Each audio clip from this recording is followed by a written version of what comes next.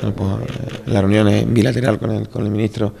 Ha sido muy productiva y muy satisfactoria, donde hemos tocado eh, diferentes temas, temas que en este caso competen a Canarias. Como todos saben, evidentemente en temas eh, de agricultura, ganadería y pesca, pues Canarias tiene una situación singular y diferenciada al resto de comunidades autónomas de, España. Y en esto nos hemos basado un poco la, reunión de hoy como primera reunión bilateral con el ministro y hemos hablado del POSEI, dentro de la PAC el régimen específico de Canarias, que es el régimen POSEI, donde hemos coincidido en la no reducción, luchar por la no reducción lineal, en este caso del POSEI para la RUP, en el caso de España evidentemente la única RUP que tenemos es Canarias, y la no reducción. ¿Por qué? Porque evidentemente hay diferentes factores.